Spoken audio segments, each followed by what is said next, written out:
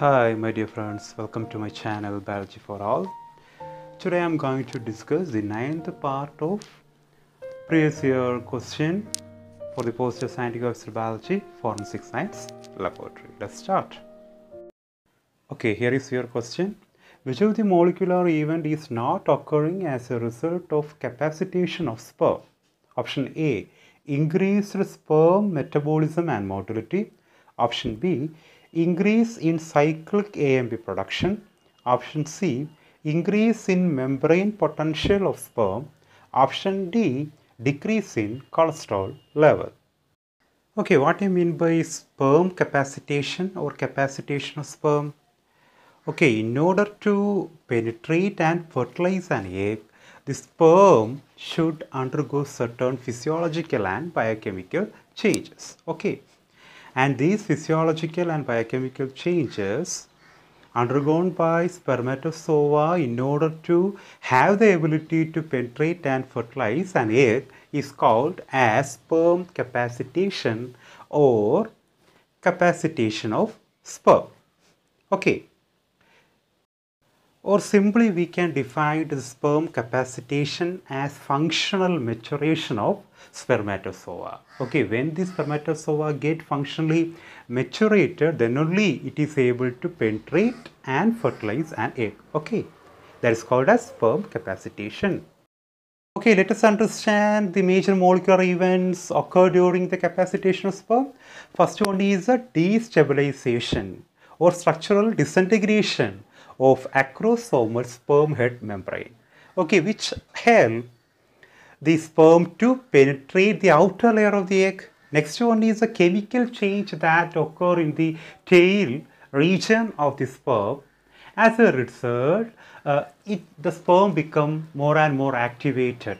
Okay, at that time we can see the more movement of hyper movement of the sperm. Okay, then uh, how it happens? Okay, the, these changes are facilitated by the removal of certain sterols. Okay, you know that cholesterol is a derived lipid coming under the category sterol. Whenever these uh, uh, sterol, namely cholesterol and certain glycoprotein are removed from the membrane, as a result, increased membrane permeability can be seen. Remember, increased membrane permeability means what? Uh, what? reduction in membrane potential not increase in membrane potential. Okay whenever there is increased permeability you can see that reduction in membrane potential. That is the membrane potential is negative not positive remember.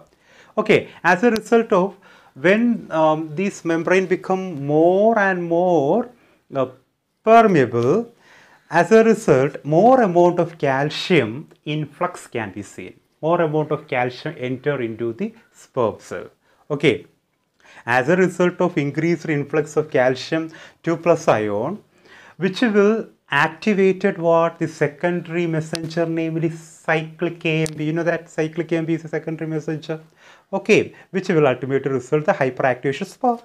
So in general, we can say that during capacitation of sperm, increased sperm metabolism and motility can be seen increase in cyclic AMP production can be seen and decrease in the cholesterol level. Steroids such as cholesterol become reduced in order to increase the uh, what increase the permeability of the membrane. Whenever the permeability of the membrane become increase, decrease in mem membrane potential of sperm can be seen. Okay, not increase in membrane potential of sperm. Right. Okay, now I think you people got the correct answer just now, isn't it? The correct answer is what? Option C increase in membrane potential of sperm. Okay, the membrane potential of sperm become reduced during capacitation of sperm. That's why that membrane of sperm is exhibiting more permeability. Okay, so uh, the event which is not occur during the capacitation of sperm is the option C increase in membrane potential of sperm what is the correct event taking place during that time? That is decrease in membrane potential of sperm. So, the correct answer for this question is option C increase in membrane potential of sperm. Okay. when your CSIR uh, net examination is concerned, the prevention of polyspermy in sea urchin is very, very important. Okay, so you have to study that portion also if you are preparing for the CSIR you just net license. Okay. Okay, next question is the basic cause of senile dementia as well as Alzheimer's disease is option A accumulation of acetylcholine mimics, B accumulation of adrenaline mimics, C degeneration of cholinergic nerve terminals, and the last option is degeneration of adrenergic nerve terminals. Okay, you know that both Alzheimer's disease and dementia are characterized by severe memory loss. Okay, let us understand the actual reasons of these two diseases. Okay, that is, uh, two neurotransmitters play an important role in Alzheimer's as well as dementia. And the neurotransmitters are acetylcholine and glutamate. You know that glutamate or glutamic acid is an acidic amino acid. Okay. Acetylcholine activates muscles and helps with arousal, short-term memory and learning. Okay. These acetylcholine mm, activate uh, certain muscles um, are related to uh, arousal then it enhances short-term memory then learning ability like that okay individuals with Alzheimer's disease have low level of acetylcholine. Very important point. Okay, those individuals having this Alzheimer's disease as well as dementia are provided with very low level of acetylcholine. Okay. Some research suggests that the plaques may be one of the reason for low level of acetylcholine because they increase the activity of chemical called acetylcholine esterase which is involved in the breaking down of acetylcholine. Okay. Some um, recent research suggests that certain plaques which is formed will activate the acetylcholine esterase enzyme. This acetylcholine esterase enzyme is mainly concerned with the breaking down of acetylcholine. Thereby, it, it will cause considerable reduction in the acetylcholine concentration, isn't it? Too much acetylcholine esterase has the overall effect of de decreasing acetylcholine level, isn't it? Which contributes to the characteristic symptoms of Alzheimer's disease as well as dementia. Okay, when the cell contain more amount of acetylcholine enzyme, it will degrade more amount of acetylcholine that will result the disease, namely Alzheimer's disease as well as dementia.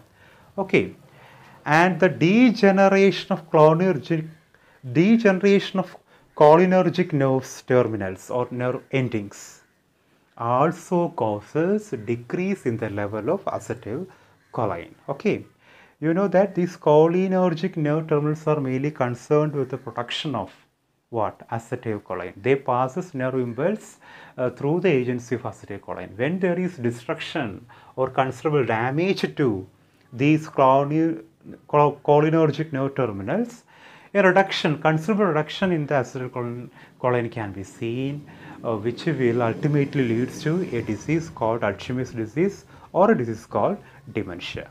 Okay. Okay, let us look at the options again. Uh, now you people got the answer. The correct answer for this question is what? The option C, degeneration of cholinergic nerve terminals. Okay. The next question is, which of the following is not an amino acid derivative? Option A, adrenaline. Option B, calcitonin. Option C, norepinephrine. Option D, thyroxine. If a hormone is an amino acid derivative or derived from an amino acid, its chemical name will end in INE. It is a trick to find out amino acid derived hormone. Okay, so you have to remember this statement only. Those hormone derived from amino acid will have a suffix ine not simply in okay. Okay look at the option. The hormone adrenaline another name epinephrine isn't it then norepinephrine another name noradrenaline and thyroxine. All these hormones are derived from amino acid. Some modification may take place in this uh, in the particular amino acid and by that modification these hormones are produced isn't it? Normally adrenaline or uh, epinephrine norepinephrine or noradrenaline and thyroxines are produced from an aromatic amino acid, namely tyrosine, T-Y-R-O-S-I-N-E, tyrosine. Okay, tyrosine is an aromatic amino acid with hydroxide or OH group. Okay, but when we are uh, analyzing the calcitonin, we can see that calcitonin is a peptide hormone made up of uh, uh, 32 amino acid. In calcitonin, amino acid uh, never undergo any modification. Amino acid get uh, arranged together to form this calcitonin hormone. So remember, even though the calcitonins are made up of 32 amino acid, but they are not derived from amino acid. These 32 amino acid held together to form a polypeptide which is acting as a hormone called as calcitonin. But in the case of adrenaline, or epinephrine and thyroxine, they are derived from amino acid namely tyrosine. Okay, I think now you got the correct answer that is uh, the uh, um, the hormone which is not an amino acid derivative is the option B calcitonin. Okay, I also discussed a trick to find out this one that is the amino acid der derived hormone will have a suffix what I N E. Okay. In adrenaline, uh, thyroxine and norepinephrine, you can say INE, but in the case of calcitonin, you can say only IN. Okay, so the correct answer is option B.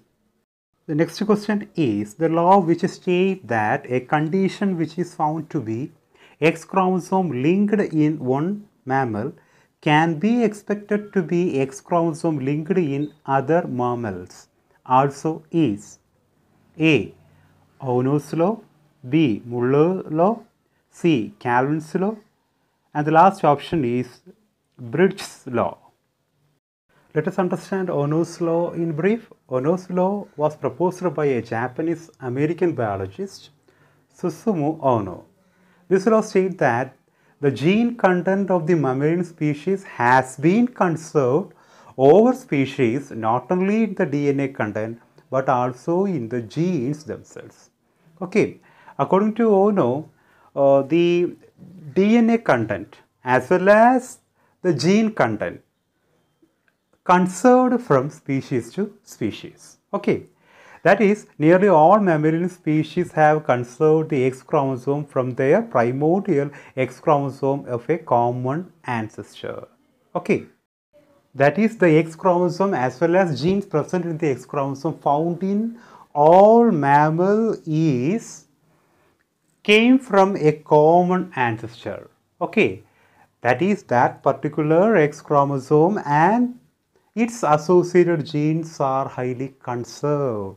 Okay, and that law is known as Ohno's law. So the correct answer for this question is option A, Ohno's law. Okay, the remaining three laws are not related to biology, so I am not discussing those laws. Okay. Thanks for watching my video. The remaining question discussion will be uploaded at the earliest. Okay, those who want to watch the earlier discussion, I will mention the link within the description box. Okay, those who want to uh, really study the 20 proteogenic amino acid within 5 minutes using certain tips and tricks, I will mention uh, its link also within the description box. Thank you. If you people get benefited with my video, please don't forget to like, subscribe, share and comment. And don't forget to press that bell icon, then you people will be notified with each and every video when I upload it. Okay, thank you. Keep in touch and stay safe.